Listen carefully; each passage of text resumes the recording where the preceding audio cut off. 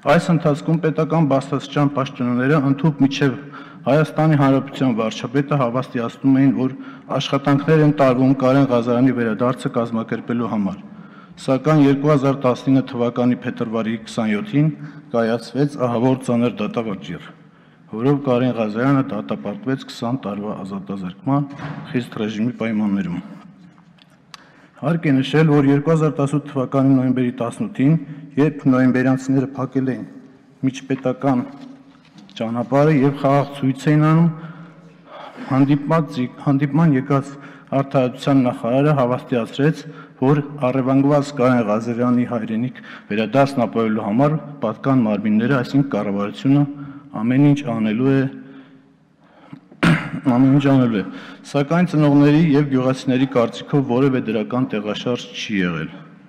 Այս պահին նոյեմբերյանի ազգաբնակչությունը ծնողները, հատկապես բերթավանցիները պահանջում են պատկան մարմինների պատասխանը Կարեն Կարենի հայրենիք վերադարձնելու մասին։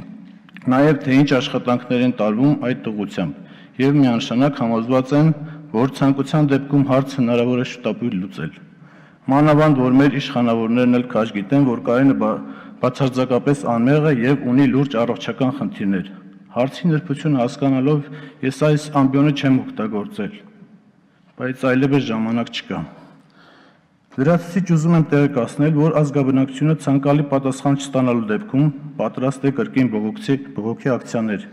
եւ Երևանում եւ նոյեմբերյանում։ Շնորհակալություն։